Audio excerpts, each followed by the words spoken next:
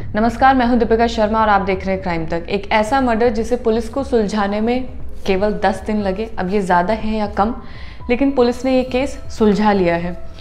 28 अप्रैल की ये बात है, जहाँ पर दिल्ली पुलिस को एक कॉल आता है और कॉलर बोलता है कि मेरी दोस्त की माँ घर में गिर गई है और उसके सर में से काफ़ी खून बह रहा है तो आप आ जाएँ और इस चीज़ को हैंडल करें।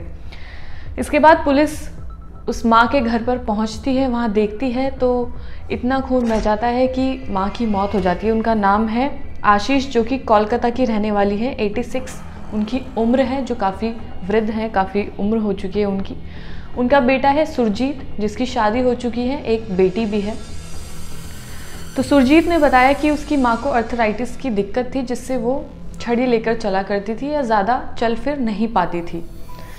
उसके बाद उसकी बीवी जो है, सुरजीत की बीवी है, शर्मिष्ठा जिसको अपनी सास ज़्यादा पसंद नहीं थी, ज़्यादा बोलचाल उसकी नहीं थी। पर हाँ ये है कि अपने पति की माँ को वो ज़्यादा बात नहीं करती थी दूर दूर रहना पसंद करती थी। इसलिए जब दोनों के बीच में ये बात आने लगी कि उसकी बीवी को उसकी माँ पसंद नहीं है तो दोनों के बीच में झगड़े होने लगे। झगड़े होने के बाद सुरजीत को उसकी बीवी ने ये कहा कि या तो इस घर में वो रहेगी या उसकी माँ रहेगी। लेकिन अब माँ बेटे का रिश्ता तो ऐसा होता है कि वो अपनी माँ को दूर भी नहीं रहने देना चाहता था, लेकिन अपना घर भी बर्बाद नहीं होने दे सकता था।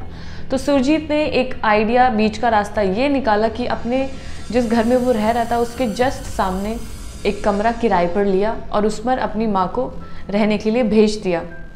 अब इतनी बुज़ुर्ग माँ कैसे अपना गुजारा करे, कैसे अपने आप को देखे या उसको कुछ तकलीफ़ होती है तो कैसे पता चले कि उसके बेटे तक वो खबर कैसे पहुँचे? इसके लिए उसके बेटे ने वहाँ पर एक सीसीटीवी कैमरा लगवाया जिसकी लाइव स्क्रीनिंग उसके घर पर होती थी या फ़ोन पर होती थी, जिसे वो देख सकता था।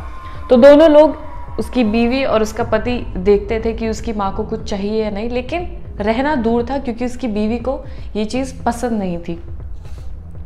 उसके बाद जब पुलिस वहाँ पर पहुँचती है तो बॉडी को पोस्टमार्टम के लिए भेजती है। बॉडी जब रिपोर्ट्स आती है तो उसमें पता चलता है कि उसकी जो सिर है उस पर काफ़ी गहरी चोट लगी है और ये कोई आम चोट नहीं है या गिर के लगे ऐसी चोट नहीं थी।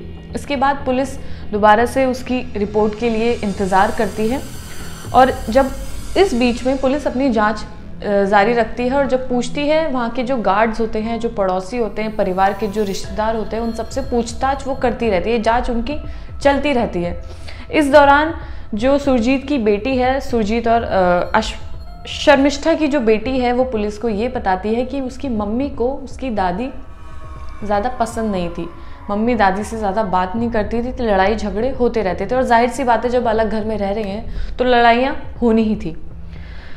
इसके बाद सुरजीत की पत्नी शर्मिष्ठा वारदात के दिन घर में अकेली थी और जिस घर में उसकी माँ रह रही थी, वो बाहर से बंद था और उसकी चाबी शर्मिष्ठा के पास उसके घर पर थी। अब इस चीज़ का क्या मतलब है, वो जानते हैं।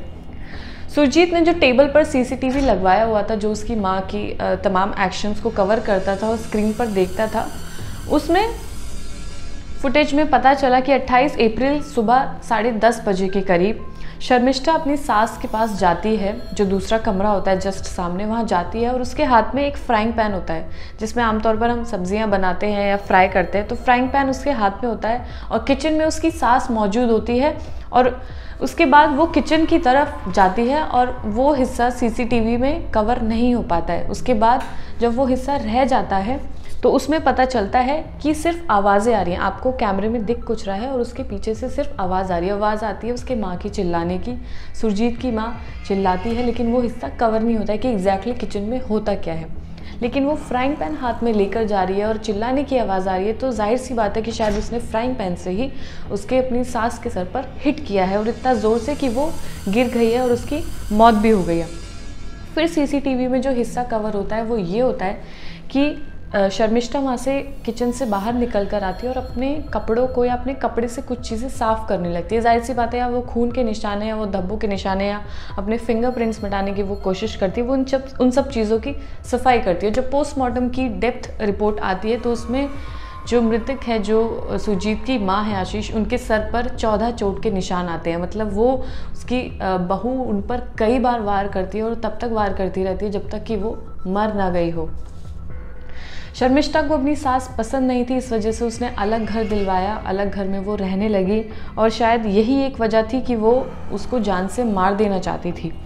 बेटे ने एक कमरा सिर्फ़ इसलिए लिया ताकि वो अपना रिश्ता बचा सके और अपनी माँ को भी, उसकी भी देख रेख कर सके, लाइव सीसीटीवी उसने रखवाया ताकि वो अपनी माँ की, अगर उसे कोई ज़रूरत है तो उसको भी पूरा कर सके। लेकिन एक बहू और एक सास में क्या एक इतनी बुज़ुर्ग माँ या एक इतनी बुज़ुर्ग सास क्या ही उसका बिगाड़ लेती या क्या ही कुछ कर लेती कि जिस वजह से उसकी बहू शर्मिष्ठा ने उसकी जान ले ली। तो ये थी पूरी खबर जो आपके सामने रखी गई है। पुलिस ने इन तमाम सीसीटीवी फुटेजेस की वजह से, बयान जो दर्ज किए उसकी वजह से और पोस्टमार्टम रिपोर्ट जो भी आई, इन सबको रखकर शर्मिष्ठा को गिरफ़्तार कर लिया गया है। इस आरोप में कि उसने अपनी सास का कत्ल किया है।